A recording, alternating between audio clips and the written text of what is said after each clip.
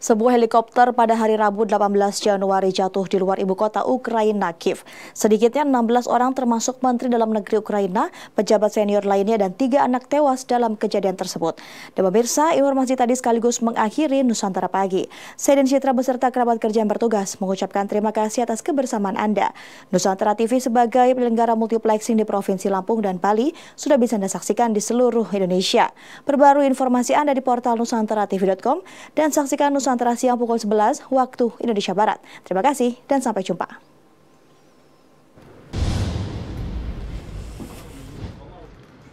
Beberapa mayat tergeletak di tanah, sepatu bot mereka mencuat dari bawah selimut setelah helikopter yang dijelaskan oleh juru bicara Angkatan Udara sebagai Super Puma Prancis menabrak sebuah bangunan di Brovary, timur laut ibu kota Kiev.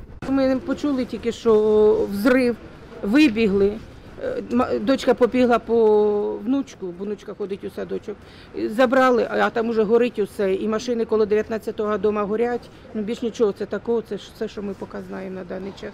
Tabrakan itu menyebabkan kebakaran besar dan seluruh sisi bangunan tempat di mana anak-anak kecil diasuh selama hari kerja setempat hangus.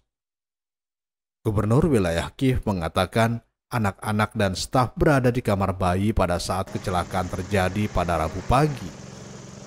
Kepala Kepolisian Nasional Ukraina memastikan bahwa Menteri Dalam Negeri Denis Monastrisky yang diangkat oleh Presiden Zelensky pada 2021 telah tewas. Wakil pertamanya Yevgeny Yenin dan sekretaris kementerian juga termasuk di antara mereka yang tewas. На даний момент ми можемо сказати, що гвинтокрил впав між дитячим садком та житловим будинком міста Бровари.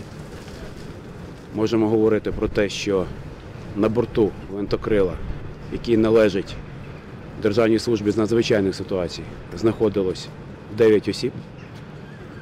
Серед них керівництво Міністерства внутрішніх справ.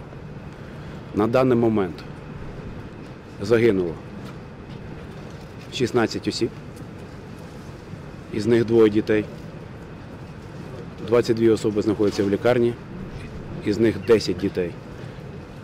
Wali kota Kiev, Vitali Klitschko, yang berbicara dari Forum Ekonomi Dunia di Swiss mengatakan Monastrisky adalah orang yang sangat patriotik dan melakukan banyak hal untuk Ukraina.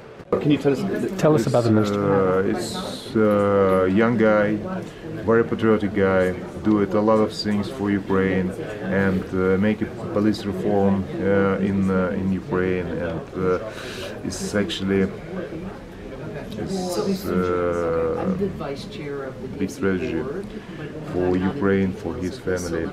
Uh, and also children. children. Its impact of uh, this Russian attack, tragedy today. Um, 16 people in uh, in this um, uh, in, in, helicopter uh, crashes. 16 people died, three children, and uh, it's unlucky helicopter fall down in the kindergarten. Mm -hmm. And uh, right now it's uh, almost 20 people injured in in hospitals. and I don't have um, more information, but Para pejabat mengatakan masih terlalu dini untuk menentukan apa yang menyebabkan kecelakaan itu. Tidak ada yang berbicara tentang serangan Rusia yang menginvasi Ukraina sejak hampir setahun yang lalu. Nusantara TV melaporkan.